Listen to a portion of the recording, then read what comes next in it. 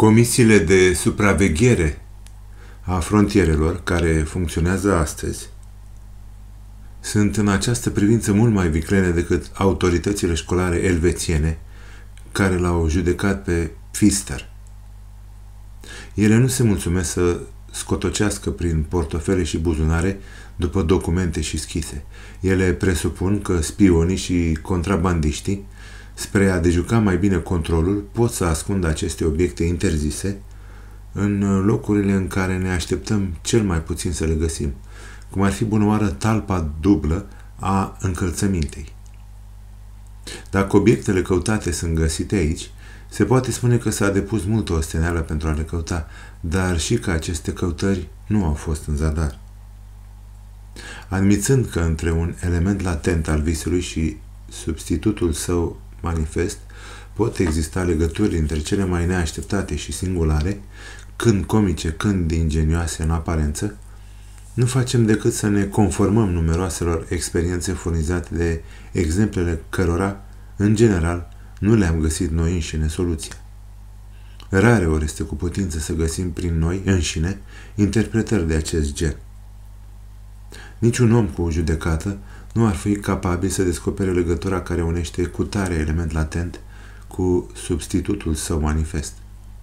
Autorul visului este acela care fie că ne furnizează dintr-o dată tălmăcirea, grație unei idei care îi vine direct în legătură cu visul, fapt posibil pentru dânsul, pentru că el este purtătorul acestei structuri substitutive, fie că ne furnizează suficiente materiale, grație cărora soluția departe de a cere o sagacitate deosebită se impune de la sine cu un fel de necesitate.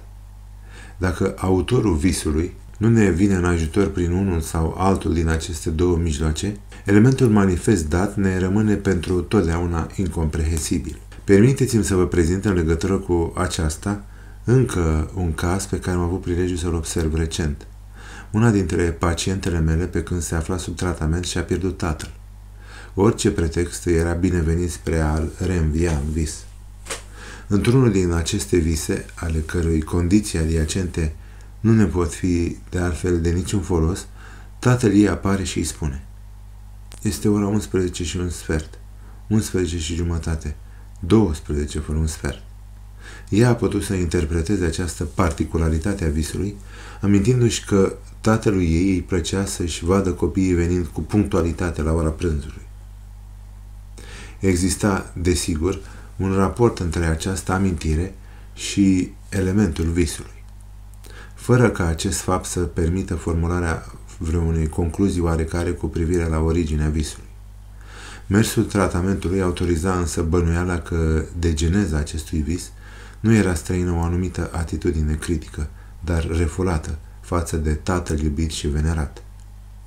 Continuând să-și înșire amintirile în aparență din ce în ce mai depărtate de vis, autoarea visului povestește că a asistat în ajun la o conversație despre psihologie, în cursul căreia una dintre rudele ei i-a spus Omul primitiv supraviețuiește în noi toți. Acum credem, a o înțelege. A fost pentru dânsa o excelentă ocazie de a-și reînvia din nou tatăl, transformându-l în visul ei într-un om orologiu și făcându-l să anunțe sferturile de oră de la amiază. Evident, este aici ceva care ne face să ne gândim la un joc de cuvinte și adesea s-a întâmplat să se atribuie interpretului jocuri de cuvinte al căror autor era cel care a visat. Există și alte exemple în care nu este prea ușor să decidem dacă ne aflăm în fața unui joc de cuvinte sau a unui vis. Dar am cunoscut deja aceleași îndoieli cu privire la unele lapsusuri verbale.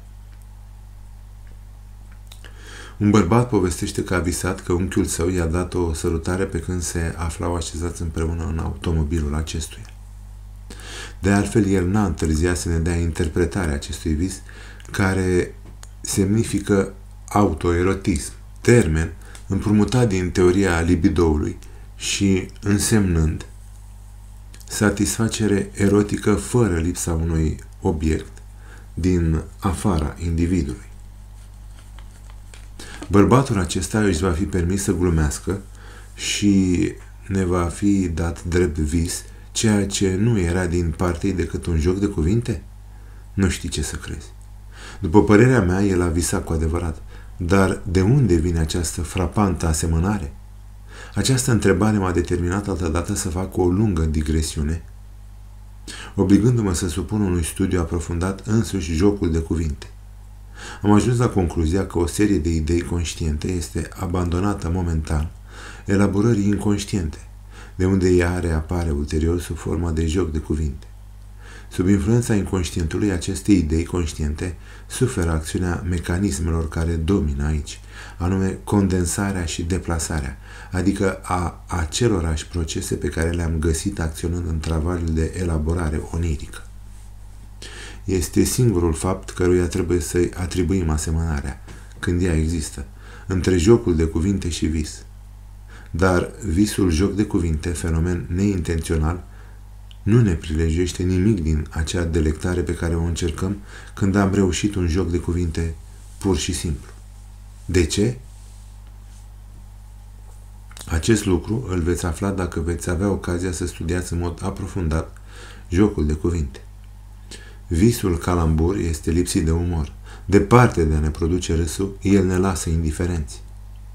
În această privință ne apropiem de vechea interpretare antică a viselor care, pe lângă multe materiale inutilizabile, ne-a furnizat o mulțime de exemple excelente de interpretare, pe care noi înșine nu le-am putea depăși. Nu vă voi cita decât un singur vis de acest gen și o fac ținând seama de semnificația sa istorică. Acest vis, care aparține lui Alexandru cel Mare, este povestit cu unele deosebiri de către Plutarh și de către Artemidor din Daldis. Pe când regele asedia orașul Tir, care se apăra cu dârzenie, anul 322 înaintea erei noastre, a apărut un satir dansând. Ghicitorul Aristandru, care însoțea oastea, a interpretat acest vis, descompunând, descompunând cuvântul satiros, crezând că astfel îi prezice regelui cucerirea orașului. Ca rezultat al acestei interpretări, Alexandru se hotărâ să continue asediul și sfârși prin a cuceri tirul.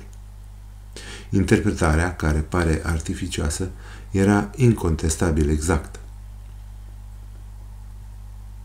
3. Veți fi fără îndoială foarte impresionați aflând că împotriva concepției noastre despre vis au adus obiecții chiar și unele persoane care, în calitate de psihanaliști, s-au ocupat vreme îndelungată de interpretarea viselor. Ar fi fost de mirare ca o sursă atât de bogată de noi erori să fi rămas neutilizată și astfel confuzia de noțiuni și generalizările nejustificate la care s-au pretat unii în legătură cu aceasta, au generat afirmații care, prin inexactitatea lor, se apropie mult de concepția medicală a visului.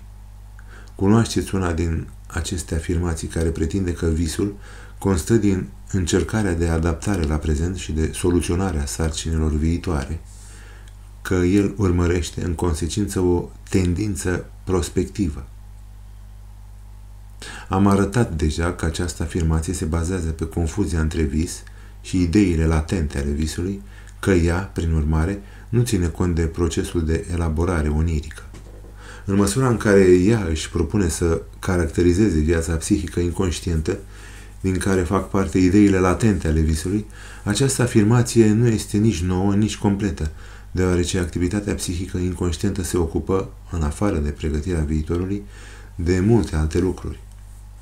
Pe o confuzie și mai supărătoare se bazează afirmația că în spatele fiecărui vis găsim clauza morții. Nu știu exact ce poate să însemne această formulă, dar presupun că ea decurge din confuzia care se face între vis și personalitatea integrală a autorului visului. Ca exemplu de generalizare nejustificate, operată pe baza câtorva exemple autentice, voi cita afirmația potrivit căreia fiecare vis ar fi susceptibil de două interpretări. Interpretarea zisă psihanalitică, așa cum am expus-o noi, și interpretarea zisă analogică, care face abstracție de pulsiuni și vizează reprezentarea funcțiilor psihice superioare. Visuri de acest gen există, dar în zadar veți încerca să extindeți această concepție fie și numai la majoritatea viselor. Iar după tot ce ați audiat aici, veți socoti cu totul nefondată afirmația că toate visele ar fi bisexuate și că ar trebui interpretate în sensul unei înfruntări între tendințe care ar putea fi numite masculine și feminine. Firește că există unele vise izolate de acest gen, iar mai târziu veți putea afla că ele prezintă aceeași structură ca anumite simptome de isterie. Menționez toate aceste descoperiri de noi caractere generale ale viselor spre a vă pune în gardă împotriva lor sau, cel puțin, spre a nu vă lăsa niciun dubiu cu privire la opinia mea față de ele. Copiii sunt singurii care nu se lasă înșelați de aceste convenții. Ei își pun în valoarea cu toată